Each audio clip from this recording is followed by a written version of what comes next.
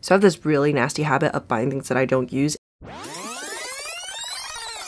So I got a package. While I was doing the closet clean out, I actually made an order to purchase a bunch of clothing. Well, it looks like Sandy Claus came early. And this specifically applies to like makeup palettes because I'll spend like days and days and days and days and days researching the perfect makeup palette that I'll use every day, but it'll also have like every kind of color that is like possible for like different looks and stuff. But then I end up just circling back to using the same old color every single day and not even touching any of the other colors. Why did I even spend all that time researching this? So today I'm gonna pull out this palette and I'm gonna use the other colors. If you're curious about what palette it is that I am talking about, it's this Sweet Tea palette by Morphe. I've literally bought this a year ago and I've used one color. It's this one, obviously. Maybe a little bit of this. And like I touched this one seven times five, 35 colors in here. So it's kind of atrocious that I bought this and haven't touched any of the other colors. So we're gonna do that today. I feel that I am the way that I am with makeup the same way I am with clothing. Like I buy all these things and I'm just like, ooh, I'm really gonna go outside of my like comfort zone and I'm gonna wear it. And then like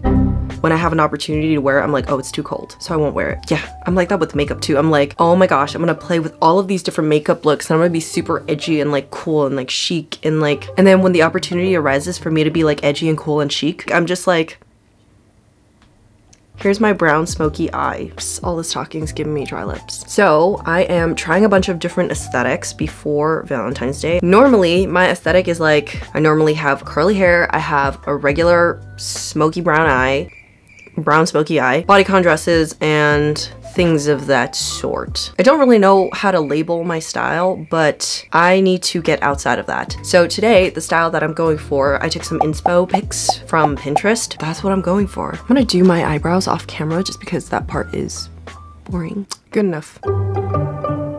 Okay, I swear I'm not gonna touch my brows anymore. So I've seen this like Mary Phillips makeup type of thing blow up on social media. If you haven't seen it yet, it's just basically where people like contour and stuff before they put on foundation and it gives them like this beautiful flawless glow and stuff. I'm gonna give that a try. I'm gonna start off by cleaning up my brow areas first though, just because that's what I do. I'm into dirty blondes, not dirty brows. I'm gonna put a little bit of concealer. I think if you add up all the time that I've spent on my brows just as like a an activity on its own, I've probably spent like six months out of my life doing my brows. That's like a good estimate. I don't know if I like that number. I'm also gonna put some concealer here, here, here, and just everywhere, man. Just go crazy and have fun with it. Great. What else am I gonna do? I feel like I have a contour stick here somewhere.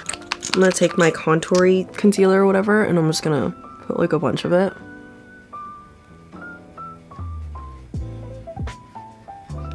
Real delish. And I'm done. I feel like I need to clean up my brow a little more. I'm gonna blendy blend. I feel like every time social media goes through like one of these phases where they find like a new makeup hack, they're always surprised that it works. And I'm just like, but you're putting makeup on, so it should work. I guess I'm just not as shocked. Done with the concealer. Time to blend out the It doesn't look like I contoured that much, but I don't know if I want to put foundation on. I'm gonna put a little bit of foundation.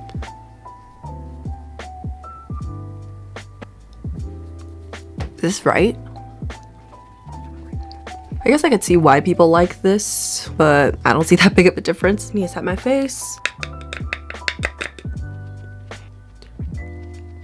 Honestly, it looks the same. So do your makeup how you want to do it. Okay, so now for the fun part. Normally I would just put on like this color on my eyeshadow on my eyelids and then I would put like black eyeliner and mascara and then call it a day. Very creative. Now I'm going to use other colors in this palette. Like I said I would. I'm gonna start out by priming my eyes with this peachy pink color. Kind of mauve, if you will. Dusty rose. I don't know. I'm just gonna go in with this brush just because I feel like it, it's gonna diffuse the color a lot, so. That's like the weakest tap of eyeshadow I could have tried putting on here. Now I'm going to take this, this flat brush. I'm gonna go in with this really bright, really bright pink. I'm just gonna swipe it all over my lid and be very bold with it. Yes. I feel like it doesn't show on camera that much. Swipe it all over. I feel like I want to make it kind of geometric. I'm just gonna keep on applying pink until it looks very pink on camera. And I'm going to shape it in like a geometric kind of a way. Whoa, that is very pink. Very, very pink. You can't regret what can be erased. Doesn't look that clean to me. You know what I mean? Kind of wish I had bigger eyelids, but that's not the message I'm supposed to be sending on social media, so. I think this is good. I'm gonna use this color. I know we said we were gonna go outside of our comfort zones, but one step at a time, we're gonna go in with this color just to put shadow down here because I feel naked. And plus it'd be a boring eye look if it was all just one color. I'm gonna take this like rose gold eyeliner color thing. I don't know what I'm gonna do. I'm gonna line my water, my lower lash line. That's what I'm gonna do. It looks great. And then I'm just gonna put my regular eyeliner on here to see if that'll fix it. Probably gonna extend this or something, I don't know. I don't know. This is really, really great. I feel like it's missing something. I feel like I need to put like pearls. Okay, I'm back. So I have these like pearls that I'm gonna put on my eyes and I'm gonna put like four because four seems like a good number. I am scared I am going to spill them. I'm gonna put them there. Yay! I feel like that looks like an eye booger. Mm, another one, another. I don't know if this looks right. Actually, no, whatever, it's cute. I don't know how I feel about this, but we're continuing. Mascara. It's okay. It's okay. I think it's all gonna tie together whenever I have my lipstick on and my hair and my outfit, right? Because I always feel much better after that. So this is my eye makeup right now. Honestly, every time I look down, all I see are these like white beads and it's like very annoying because I keep thinking they're boogers. I'm gonna put a lip tint just because I feel like I have a lot going on with the eyes right now, so I don't want to overdo it. I'm gonna overline just a little bit just because I feel like the lip makes everything so much better. Last couple details, same gold liner and it's going in my inner corner, a little bit of liner there. I am very imprecise about all of this, so